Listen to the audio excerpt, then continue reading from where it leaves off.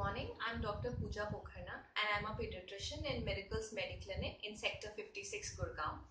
So currently the monsoon season is going on. So there are a lot of monsoon and rain, uh, rain related uh, diseases. For example, dengue, malaria, typhoid, loose motion and gastroenteritis.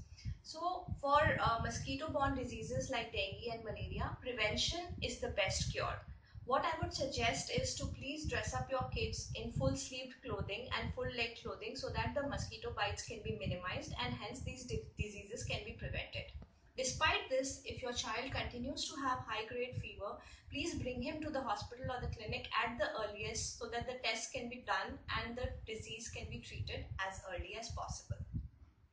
Regarding waterborne diseases like for example gastroenteritis as well as typhoid, Again, we would like to prevent them by using clean, pure water. So please at all times use filtered water and if you have younger kids, please boil that water also for a rolling boil and only give that water. So uh, all these diseases can be prevented.